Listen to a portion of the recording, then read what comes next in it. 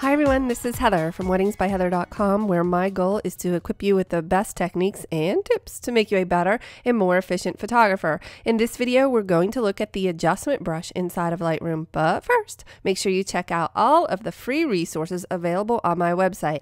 I have also included a link below to my upcoming workshop schedule. My dear friend Taryn from Blu Hippo Photography, there's a link below, sent me this image recently and asked me what my thoughts were on the sun flare.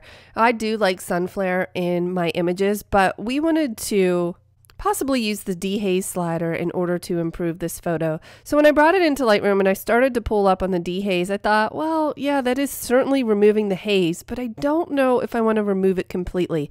I thought maybe I would like to just lessen the impact of the sun flare on their faces, but keep the same amount on the background. So I'm going to double click this slider back to zero and press K to access my adjustment brush. This dehaze slider within the adjustment brush will only be available to you if you are a member of the Creative Cloud. But what I'm going to do is pull down on that slider. I'm going to turn auto mask off. I'm going to pull my flow down just a little bit. I'm going to leave my density at 100. I'd like to make this brush bigger by using my right bracket key and I'd also like to increase the feather. So I'm going to hold down shift and press my right bracket key in order to do that. And then I'm just going to brush over their faces and, oh, and automatically I've seen, uh, whoops, I actually took the dehaze slider in the wrong direction.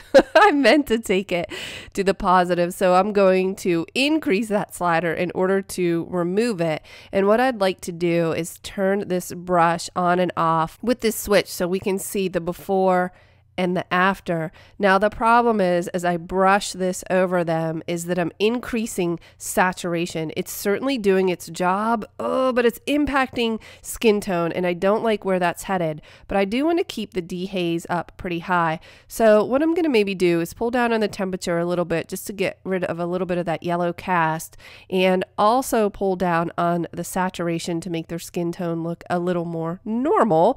So let's go ahead and turn this off and then on. And I think that's going in a really good direction. The point of this video was to demonstrate the dehaze slider within the adjustment brush panel. It's really nice because you can apply it only where you need it. I hope that you found this useful. I'll see you in the next video.